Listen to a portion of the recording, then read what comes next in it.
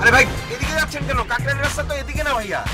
লগে কি আছে দে। স্যার জামান সাহেব ভ্যাটের রিটার্ন জমা দিতে গিয়ে ছিনতাইকারীদের কবলে পড়েছিলেন। এখন উনি হাসপাতালে। বলেন কি কীভাবে তোর এই অবস্থা হলো? মাইক্রোতে উঠেছিলাম। সব কিছু নিয়ে রাস্তায় ফেলে চলে গেছে। তা কি কি নিয়েছে? ওই মোবাইল ঘড়ি ব্যাটের টাকা আর কিছু কাগজপত্র। ভ্যাটের টাকা তোর কাছে কেন? ব্যাংকে জমা দিতে যাচ্ছিলাম। ভ্যাট তো এখন অনলাইনে জমা দেওয়া যায়।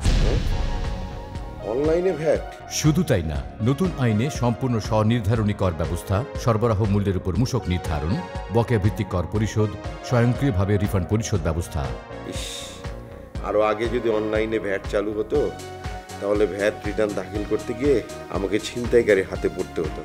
যা হয়নি তা ভেবে লাভ নেই। যা হয়েছে তা নিয়ে ভাবুন। আর ভাববো না।